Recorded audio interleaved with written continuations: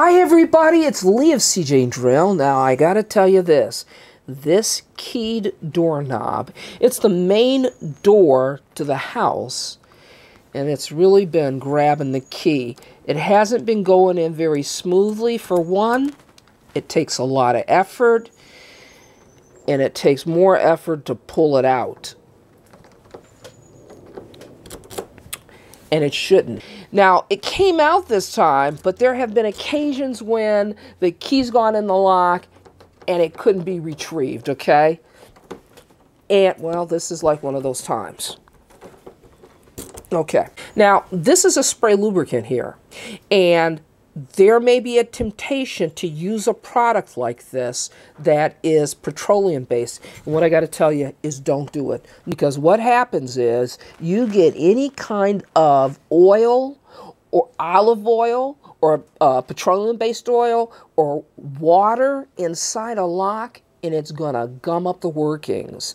I got to tell you that oil attracts dirt like a magnet. And it may it may work the first day or two, but then after that, you're going to have more problems than you started off with. So the solution to a key that gets stuck in the lock is graphite.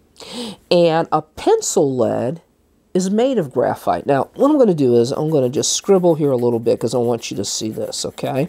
Now, graphite is very, very shiny. I don't know if you can see it on a piece of paper, but look at my finger here. It's shiny and slick. So graphite like what's in a pencil lead, is the best lubricant for the interior of a lock. In fact, they sell graphite in a powder form in a hardware store. But let's say you don't have, you know, graphite around the house. Well, believe it or not, we're going to use a pencil to lubricate our key and our lock. Let me show you how to do this. Now I'm going to take this pencil and I'm going to draw on top of this key as heavy as I possibly can. And when I get a nice amount of graphite on there, I'm going to turn it on its side. Okay. And I'm going to get the edges as well. The more you can put on, the more effective it will be. Okay, so there we go. See that graphite powder sitting on the surface of the key? Well, that should do it. But if it doesn't, we may have to do it one more time. So let's go over to the lock and insert the key and see what happens. Okay, let's give it a shot. Now what I want to say is you want to shake it a little bit because you want to distribute it in the lock. Let it reach the tumblers, right? So we're going to turn it.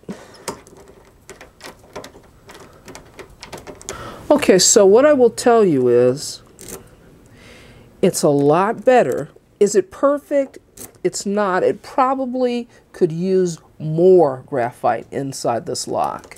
Ideally, this is what you want to use. It's powdered graphite lubricant, comes in a bottle. I'm going to open it up here so that you can see what it looks like. I'm going to just squirt out a little bit. So this is really a fine powder, as you can see, okay? So let's put this to work. Now, what I want you to do is I want you to keep in mind that graphite is a form of carbon, so it's black and it gets dirty. So just keep that in mind when you're inserting it and you're spraying it, because there's going to be black dust uh, that comes out of the lock, all right? Now, before we get started, I just want to say this. Make certain that your key isn't bent, because all the lubricant in the world isn't going to change a bent key, okay? Okay, we're going to insert that right into the keyhole and give it a good squirt. Let's do that again because I saw came out. There we go. Okay, let's insert our key now. There we go. We want to distribute it a little bit in there. Jiggle that key up so it really reaches the tumblers. I'm going to turn it like that. Now I'm going to try pulling it out and inserting it.